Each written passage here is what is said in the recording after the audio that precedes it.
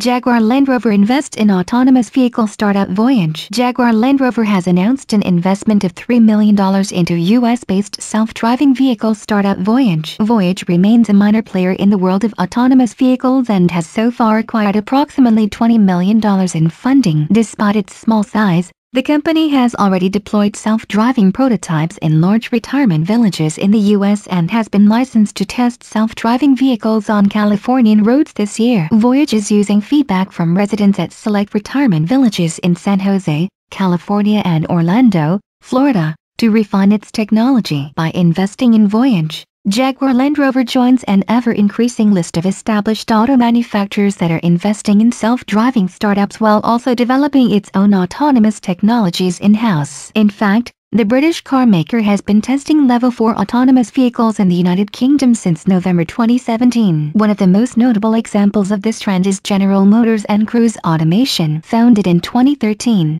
Cruise Automation was developing a fully autonomous Nissan Leaf when it was purchased by General Motors in March 2016 for a figure exceeding $500 million.